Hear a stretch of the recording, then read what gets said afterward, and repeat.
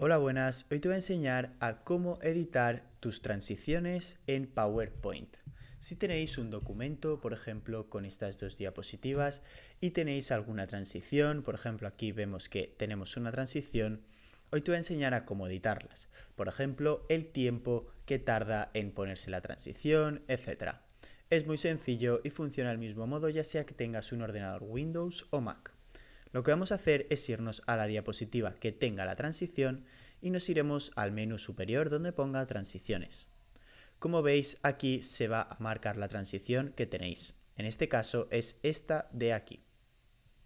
Ahora nos iremos al apartado de la derecha donde podremos editar la duración de esta que está en un segundo. Imaginemos que pusiéramos 5 segundos. Como veréis va a tardar 5 segundos en realizarse el total de la transición y también podremos añadir un efecto de sonido.